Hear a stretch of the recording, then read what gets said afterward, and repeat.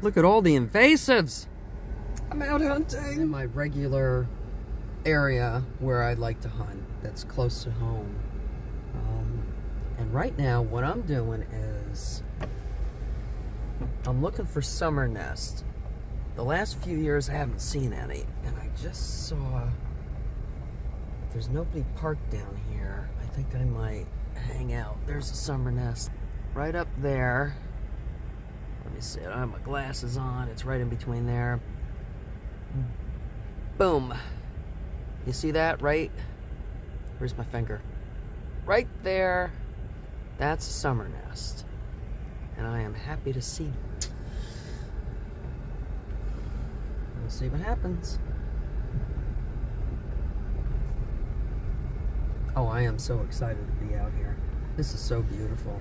Look at this.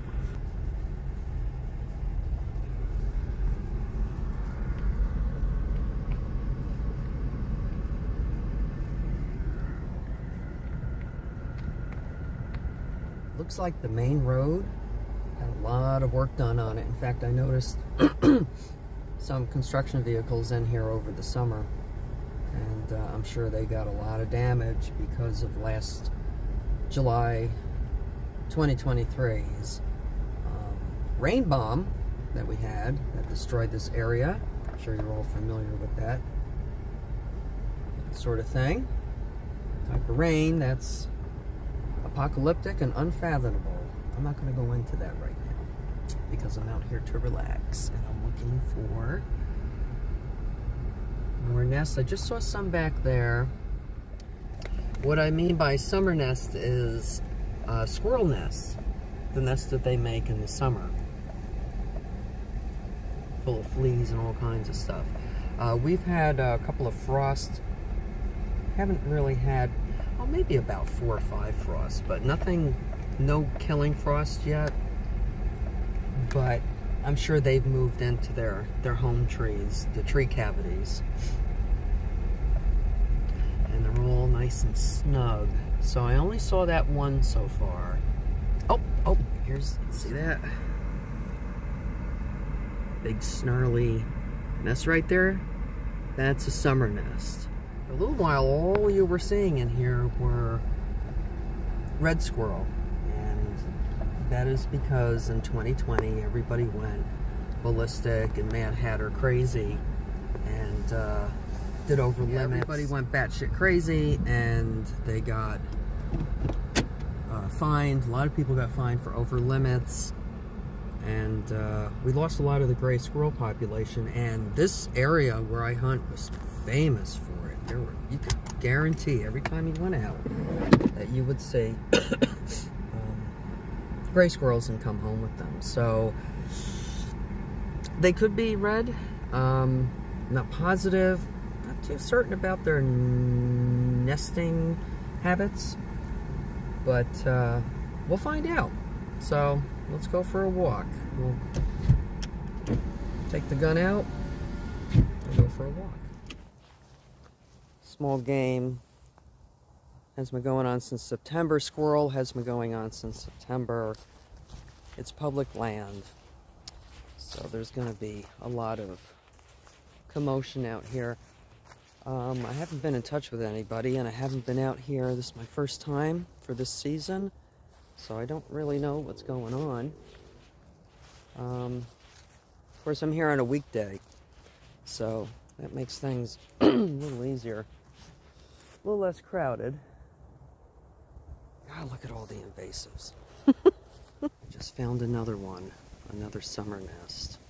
That's quite a bit. That's a lot more than I've seen in a long time, and I'm very hopeful. Let's see if I can zoom in on it. There it is. Right there. Oops. This year, I'm hunting, I'm hunting red meat only. That means uh, squirrel, rabbit, deer. No birds. No birds last year, no birds this year. And the reason for that is because New York State has had a terrible problem with bird flu. Don't quote me, but I think it was a pheasant farm. I'm not sure if it was Sullivan County or or if it was up by Rome, New York. I'd have to double check on that. Um, but they had to kill off their entire inventory, which is a lot of birds. It was up in the thousands because of bird flu. So I just don't see any point. To add to that information, I happened to meet up with some people over the last year or so who were also hunters, and we had a conversation about hunting, and we brought up pheasants, and I said, you know, I'm not hunting birds until further notice, until I know more because of the bird flu.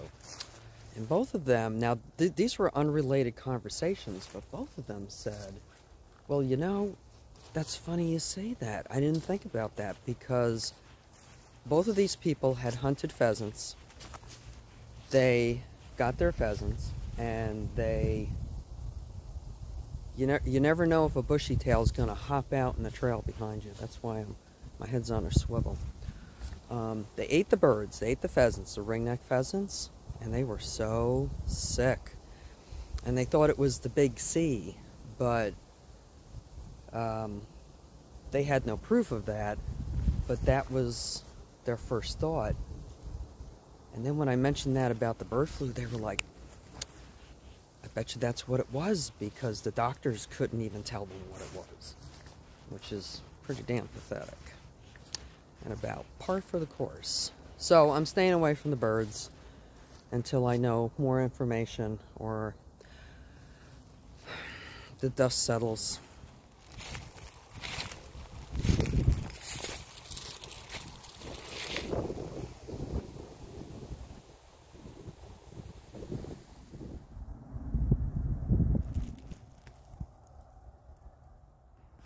Whatever you do, don't shoot them power lines.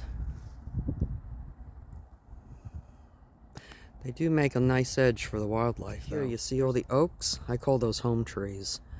They're full of cavities that the squirrels use to live in during the winter. And uh, from what I've seen, the mass was pretty damn good this year, especially the black walnuts.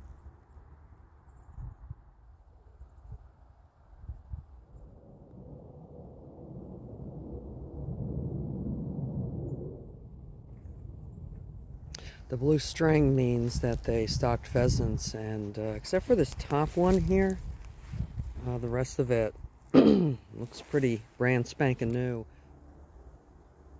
So I'm looking for a real good um, game trail to get in, into these Oh, Look at this. Look, look, look. This is... Oh, nope. Prickers. Prickers. Still looking for a place to sit down. This is kind of a real scrubby area. You know, it was uh, farmers' fields, and now it's, uh, since it's been disturbed, the invasive species got in, and uh, it's full of prickers. And you know what? I did my time with prickers. I don't want to do that anymore. Okay, so my uh, aversion to prickers has led me out Gray squirrel. Be right back.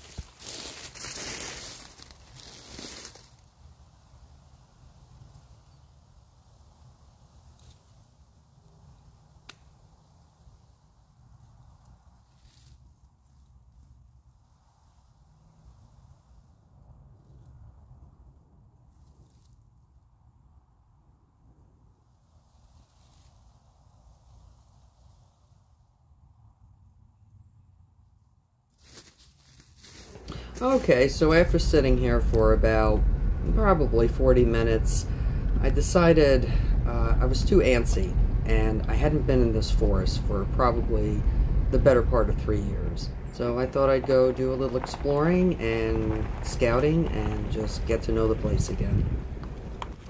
This right here used to be one of my favorite parking spots. And as you can see, we got a, an old ash grove in there and a swamp and a lot of water.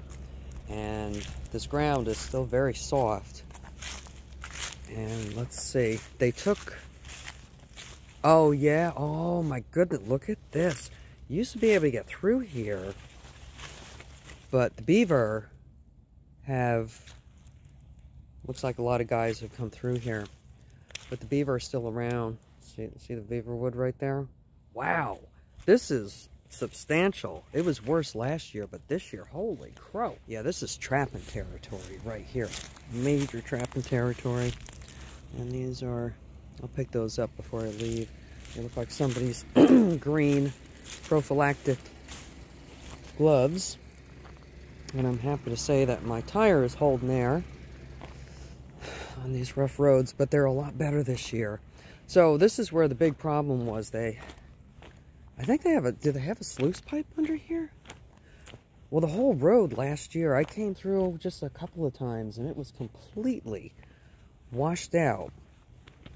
Uh, all the water that we had and the beaver activity in here um, led to this road basically just collapsing. No, there is no sluice pipe, but you can see, you see all the, the beaver wood in there? All back through there, little sticks that they've been cutting off. And this looks like it's still a hazard. And this tree right here, it's probably taken down by then.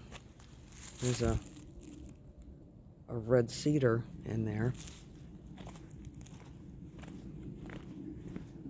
So, yeah, the beaver is still a big problem. Look at this. That was some ash sand at one time. Look at this.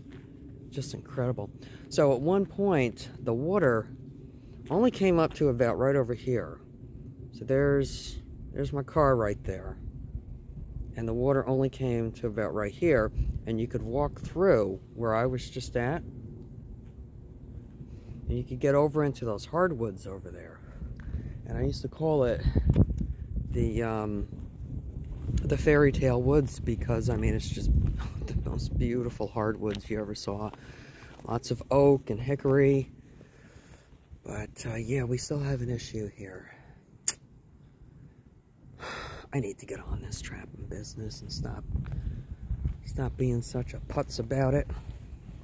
Well, I went home empty-handed, but that's okay. That's the way it goes. It was nice to be back my old hunting ground. And one last thought. Prickers be damned.